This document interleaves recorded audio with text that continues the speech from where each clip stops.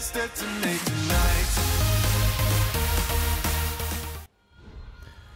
Moin liebe Freunde und willkommen zurück hier bei Game Testicle. Ich bin Raphael und ich habe heute eine weitere Ausgabe unseres Madden NFL 20 Owner Modes mit den New York Jets für euch. Und ja, vielen, vielen Dank für die krassen Support erstmal vorab. Falls ihr neu auf dem Kanal seid, auf jeden Fall ein Abo dalassen und für alle Abonnenten bitte, bitte, bitte die Glocke aktivieren. Denn nur dann bekommt ihr auch wirklich immer Bescheid, wenn ein neues Video online kommt, Leute. Und das wollt ihr ja, hoff also hoffentlich, wenn nicht, dann nicht, aber... Würde mich natürlich freuen. ja, wir haben im letzten Part ein paar Umfragen gemacht. Ne? Ihr wisst, ihr entscheidet sehr, sehr viel mit hier im Owner Mode, auch schon seit dem letzten Jahr. Die erste Frage war, sollen wir das Stadion renovieren, upgraden oder einfach so lassen, wie es ist? Und die meisten Leute, nämlich äh, 55%, haben gesagt, pass auf, Rafa, äh, grade mal das Stadion nicht ab, sondern renoviere es erstmal. Ähm, und das machen wir dann eben heute. Das heißt, wir werden die Sitze, das war letztes Mal ähm, das, worüber wir gesprochen hatten. Na komm schon, wo sind wir hier? My Owner äh, Stadium, die Sitze auf jeden Fall schon mal ähm, renovieren. Ja, erstmal ganz wichtig, Sitze.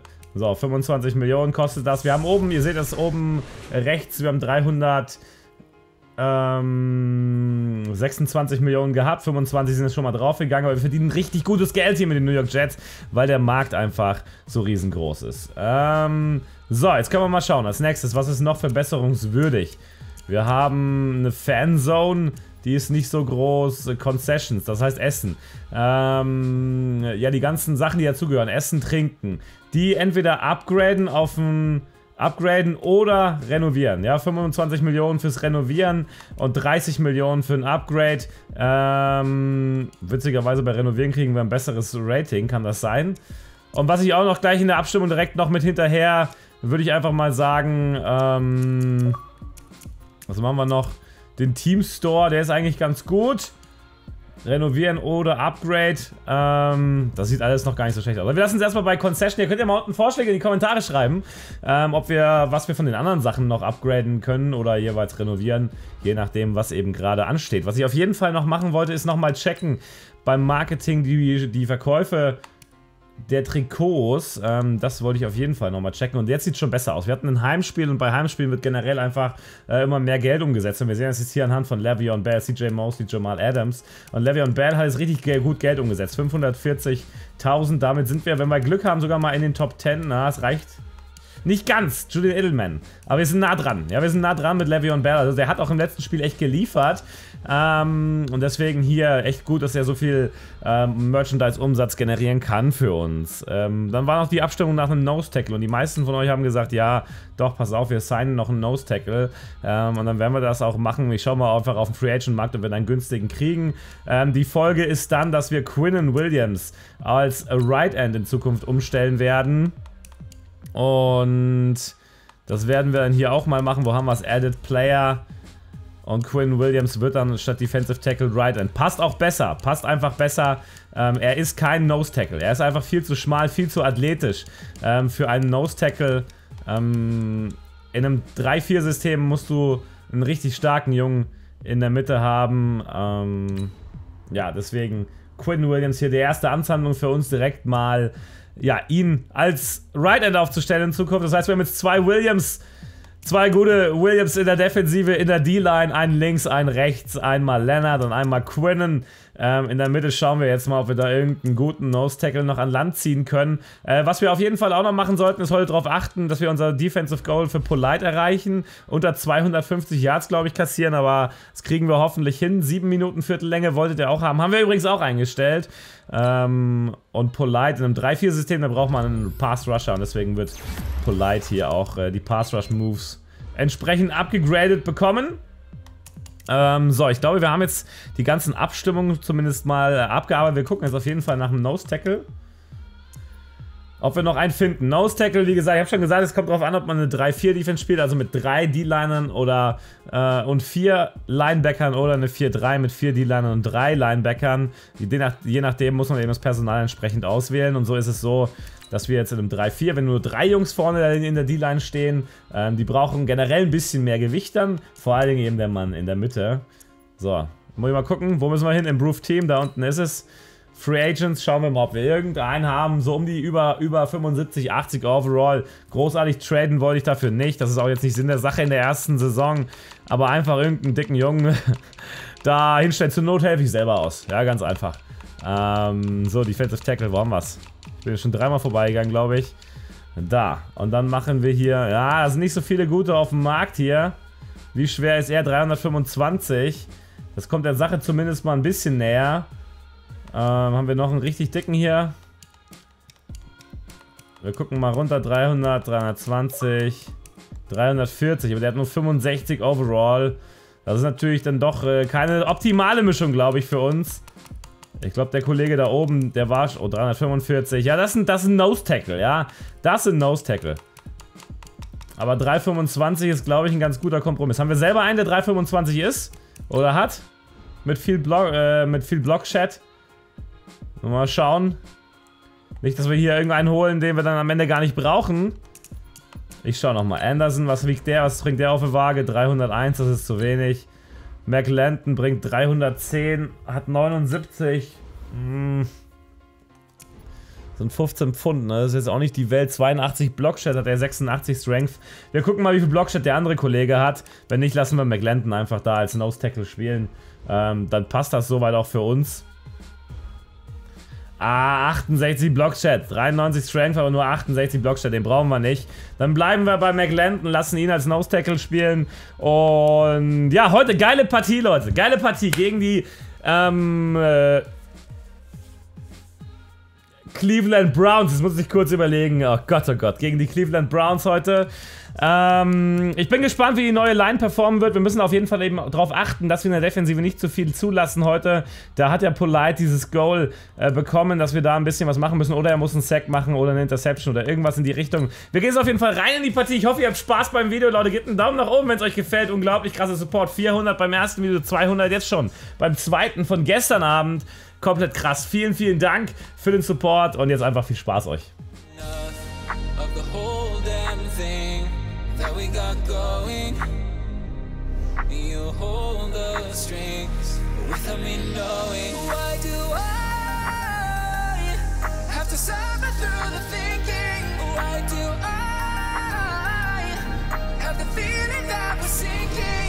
I need to find a way.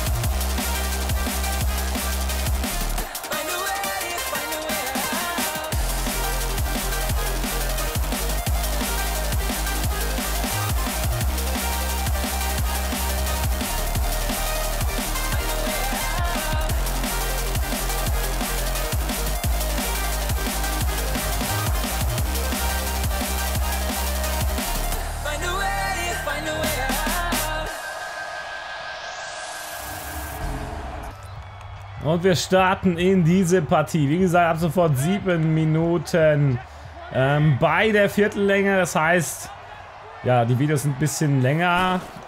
Und wir schauen mal, wohin die Reise geht. Und das ist die Interception von CJ Mosley. Erstes Play und wir haben das gerochen. Baker Mayfield startet hier gegen uns mit einer Interception. Das kann nicht wahr sein. Was für ein geiles Ding. Aber den haben wir so weggesnackt, Mann. Den haben wir so weggesnackt. Unglaublich. Ich wusste genau, dass er dahin spielt.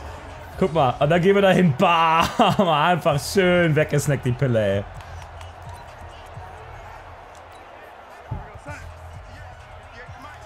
Das sind unsere New York Jets, Junge. Das sind unsere New York Jets. Da wird auch gar nicht rumdiskutiert. Das ist einfach hier Le'Veon Bell.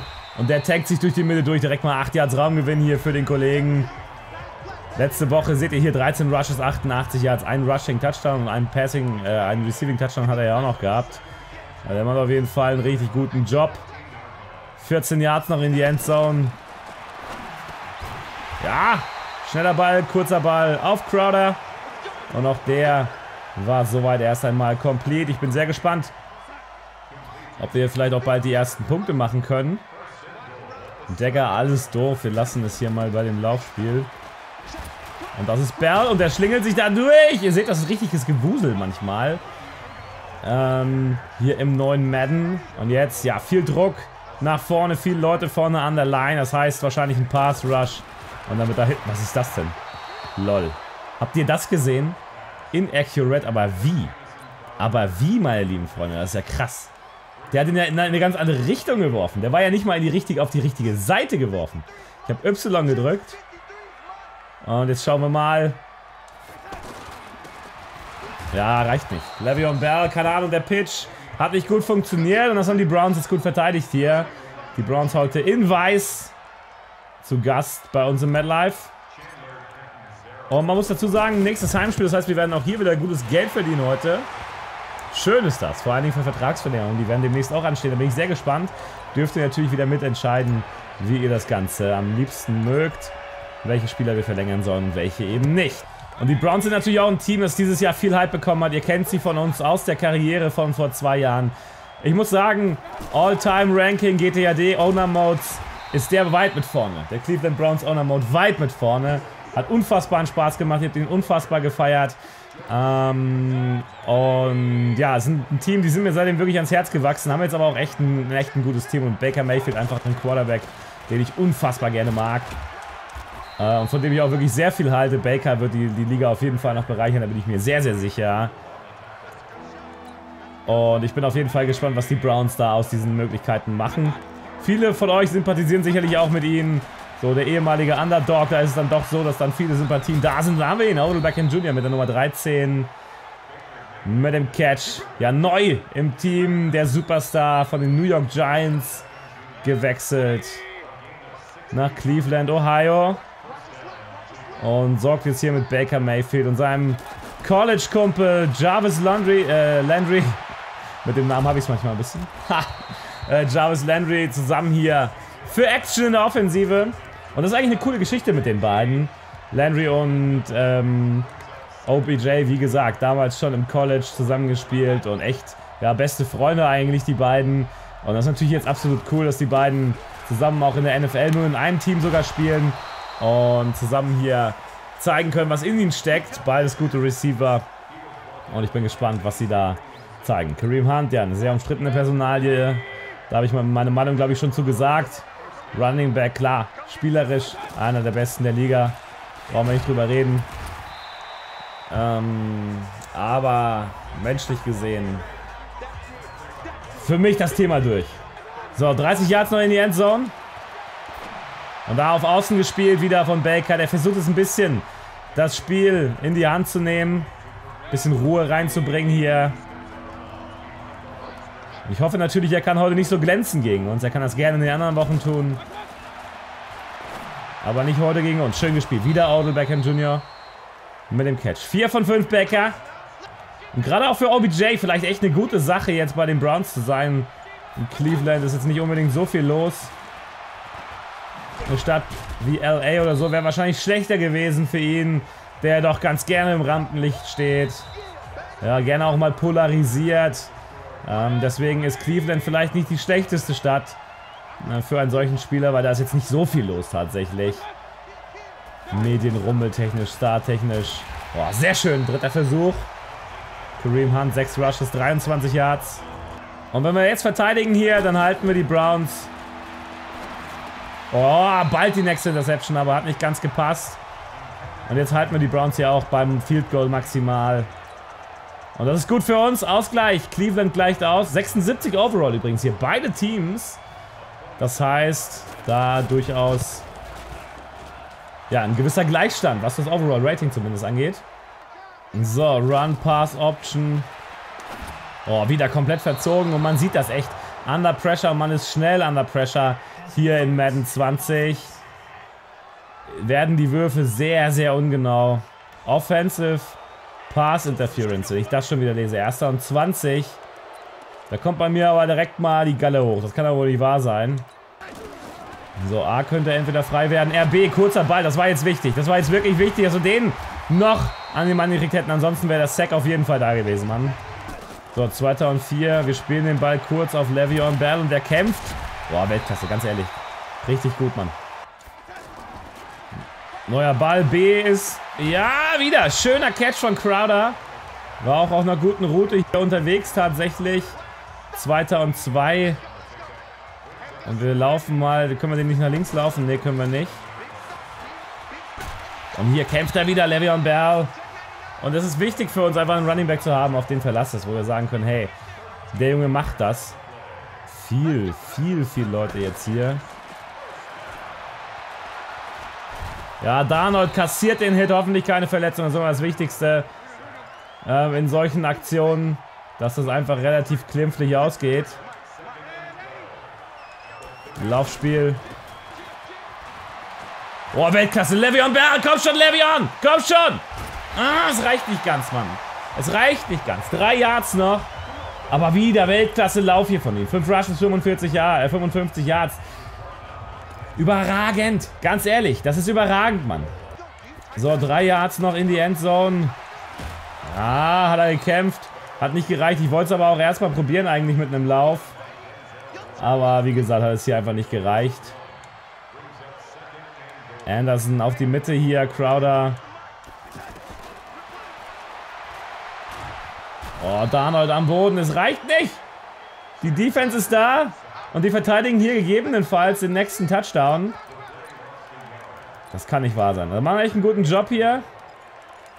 Aber wir müssen versuchen, hier sie irgendwie dazu zu bringen, entweder Fehler zu machen oder zumindest in der falschen Defensive hier rauszukommen. Da ist er frei. Da ist er frei. Unser Tight End mit dem Touchdown. Yes, Mann. 10 zu 3 Führung. Also die Partie könnte auf jeden Fall länger werden, weil die Cleveland Browns sind ein Team, die einfach mitmachen können, die mitspielen können. So, die Browns starten an der eigenen 27. Kareem Hunt diesmal nicht mit dem Ball. Oh, und da laufen wir da vorbei. Das kann nicht wahr sein. Was war das denn bitte für ein Ding? Da läuft der Verteidiger einfach unten weiter. okay, das war jetzt natürlich eher so suboptimal, sag ich mal. Browns weiter in Ballbesitz, 2. und 1.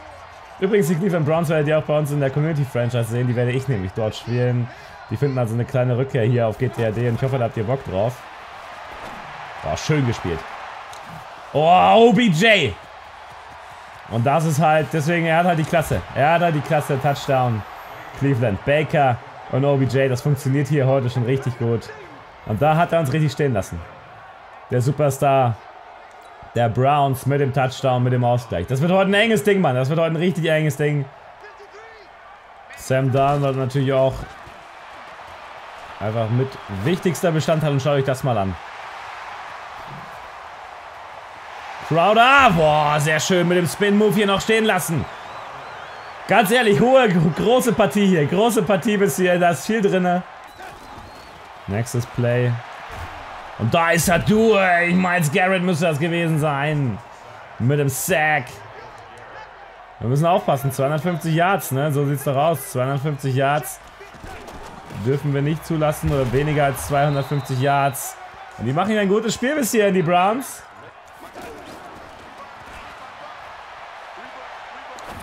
Weltklasse. Sehr schöner Ballmann. Ins Auslaufen, die Zeit anhalten. Sam Darnold.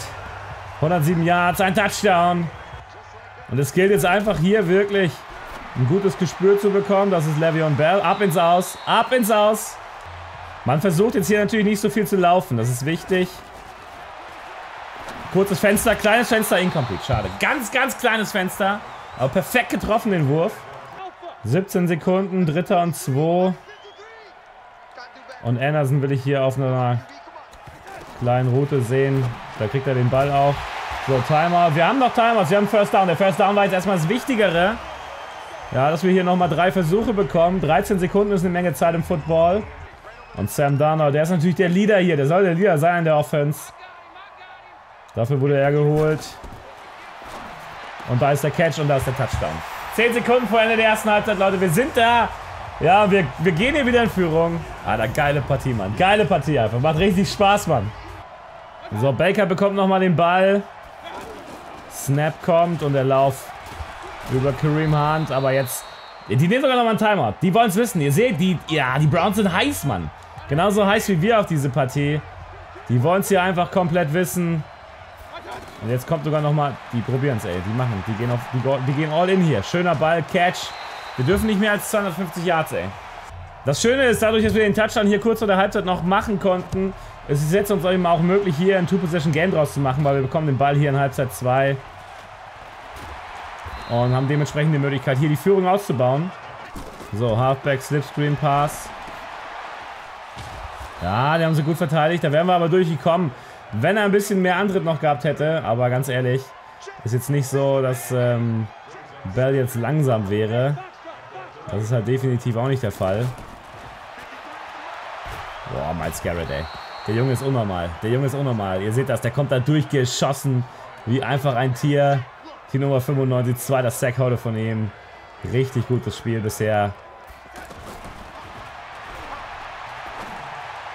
Ah, incomplete. So, jetzt haben sie uns verteidigt. Haben sie gut gemacht. Vor allen Dingen Miles Garrett natürlich hier einen riesen Anteil daran, dass wir unser Spiel nicht so richtig aufziehen konnten. Und der Punt kommt und ich hoffe, der ist ganz okay. Ah, der Catch kommt aber auch. Ärgerlich. Ja, und wir lassen uns aus. An der 32. So, es bleibt also weiter spannend. Kein Two-Possession-Game. Oh, gut gemacht. Schön gespielt. CJ Mosley jetzt mit dem Tackle. Browns gegen Jets. Ja, ins Aus. Kein großer Raumgewinn. Baker Mayfield hier trotzdem eine sichere Variante gewählt für zwei Yards.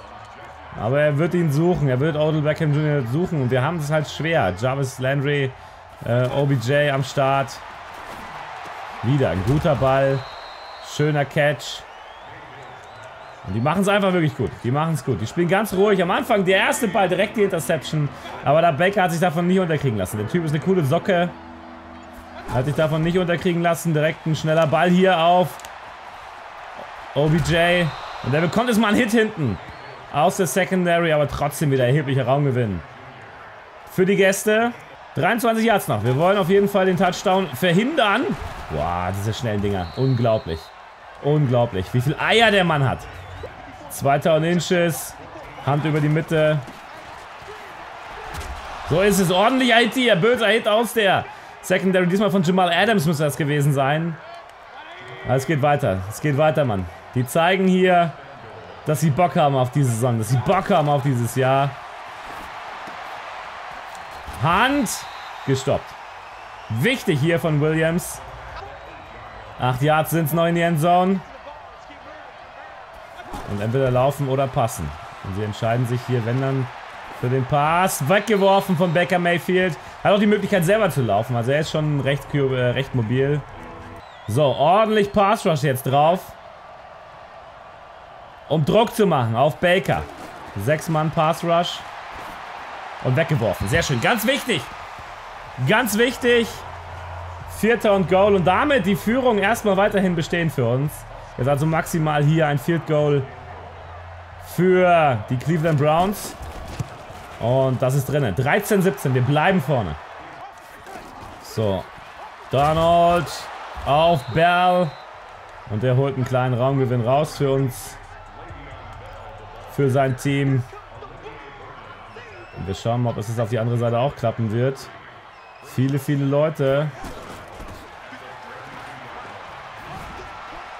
Der war wichtig, Mann. Der Spin-Move war so wichtig. Und damit haben wir ordentlich Leute stehen lassen in der Situation. Dritter und eins. Anderson und Crowder bekommt eine Drag Route. Und dann hoffen wir natürlich hier. Sehr schön. Guter Ball. First down. Und wieder schöner Ball. Auf unseren Thailand. Letztes Viertel bricht an. Leute, wir brauchen hier auf jeden Fall ein Field Goal. Ja, wir wollen den Touchdown vorne bleiben. Brauchen auf jeden Fall das Field Goal. Vor allem schaut mal, in Halbzeit 2 noch keine Punkte von uns. Und unser Publikum will natürlich. Ja, komm, die wollen. Die wollen den Touchdown sehen hier. Die wollen den Touchdown sehen. Alter, das ist unglaublich. Also diese, diese Line, was die an Druck macht. Das ist unfassbar. Also schön ist anders, muss man wirklich sagen. Schön ist tatsächlich anders. Gut gemacht. Sterling mit dem Catch, mit dem First Down. Und jetzt sind wir in Field Goal Reichweite. Meine Güte, yes, Mann. So, Pitch. Und da hätte man vielleicht doch eher komplett über außen laufen sollen. Ich weiß es nicht. Wäre vielleicht aussichtsreicher gewesen. Wieder viele Leute in der Box. Da möchte ich auch sehr ungern eigentlich einen Lauf machen. Play-Action-Pass. Und da hinten ist er frei. Und das ist ein Touchdown-Pass. Ja, Sam Darnold. Schöner Touchdown-Pass. Auf unseren Titan. Dritter Receiving-Touchdown bereits für ihn in der Saison. Meine Güte. Richtig gut. Und Sam Darnold heute ganz cool geblieben in der Situation, die Führung ausgebaut. Und jetzt sind wir hier vorne. Jetzt sind wir hier 11 Punkte vorne, Two-Possession-Game. Und jetzt müssen die Browns sich strecken. Jetzt müssen die richtig Gas geben. So, neuer Erster und 10. Der Touchdown müsste jetzt relativ zügig kommen, wenn sie jetzt nämlich zu viel Spielzeit hier verlieren. Oh, was für ein Catch. Gegen zwei Mann. Gegen zwei. Das kann man gar nicht zu hoch anerkennen hier. Und wie gesagt, wenn ein Typ Eier hat, dann ist Baker Mayfield als Quarterback. Ich feiere den Mann. Ich feiere ihn. Ich weiß, man merkt das. Boah, wieder gut gemacht. Schöner Ball. First down. Die gehen hier nach vorne. 14 von 19 Baker. Für 200 Yards. Es wird langsam schwer. Wir müssen Polite mal auf den Sack bringen. Wir müssen gleich mal versuchen, den Kollegen da ein bisschen reinzubringen. Wieder ein Catch. Und die halten jeden Ball da zweifelhaft fest. Und man merkt einfach, die Interceptions sind generell schon schwerer. So, Start Offense, das ist gut, es kommt uns entgegen hier. 2006. Und Polite, wie gesagt, der soll hier gerne ein bisschen Druck machen. Der soll gerne Druck machen auf Baker. Vielleicht ihn wegsnacken. Oh, Odell Beckham Jr. wieder mit dem Catch hier. 250. Es wird langsam knapp. Es wird langsam etwas knapp hier für die Herausforderung für Polite, um sein Development hochzubekommen. Es wäre schon schön, wenn wir das schaffen. 25 Yards noch, die dürfen nicht mehr allzu viele Yards machen. Ja, und das war's schon. Das war's wahrscheinlich schon. 250 Passing Yards, äh, 240 Pass, äh, Passing Yards alleine, plus die Rushing Yards, da sind wir über 250. Das heißt, wir müssen jetzt entweder eine Interception oder einen Sack machen mit, mit Polite. So, 8 Yards noch. Jetzt müssen wir... Ich will den Sack. Ich will den Sack mit Polite hier irgendwie erzwingen zur Not. Kein Touchdown.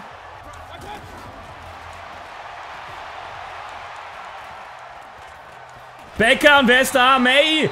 Kein Sack, aber das ist schade, dass das nicht Polite war.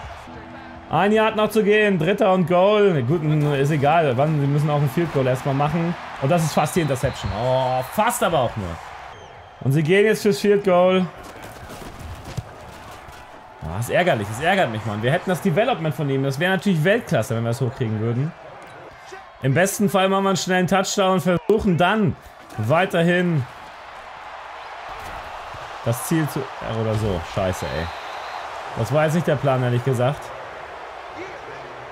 Jetzt sind wir zwar wieder in der Defensive, aber das war jetzt nicht der Plan, das hier so über die, über die Schiene zu machen. Fumble, bitter. Und ich hoffe, jetzt kommt irgendwann der Sack zustande hier. OBJ wird gestoppt. Und der ist gefährlich, aber wir sind jetzt sowas von deutlich drüber, über diese Yards, Mann.